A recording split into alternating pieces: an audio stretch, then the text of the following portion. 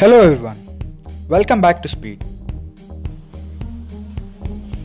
Still if you have not subscribed, then do it quickly by pressing subscribe button and support me.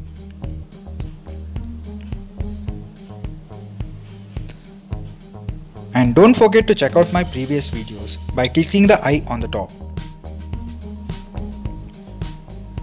So let's begin.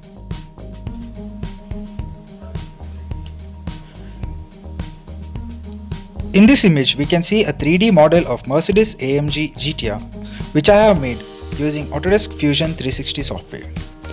This has been done in the sculpt environment of the software. I have lost the video of uh, making video of this model but in this video we will be rendering the model using Photoshop. So I have selected this view of the car for the rendering purpose.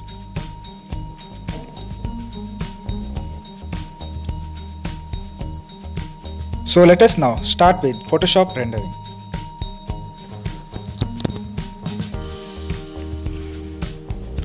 By using CAD software like Autodesk Fusion 360, we can make a model of a car which is shown here in the screen. We can, by using this software, we can make a model almost similar to the actual car in the dimensions, but still it will be having some imperfections which is related to the lighting and the shadows. So we can make them perfect by rendering them using rendering softwares like Photoshop or SketchUp.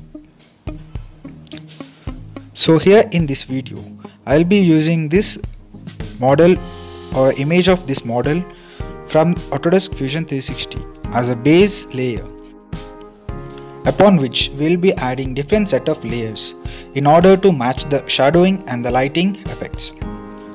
So keep on watching and please do like this video and tell us your reviews in the comment section.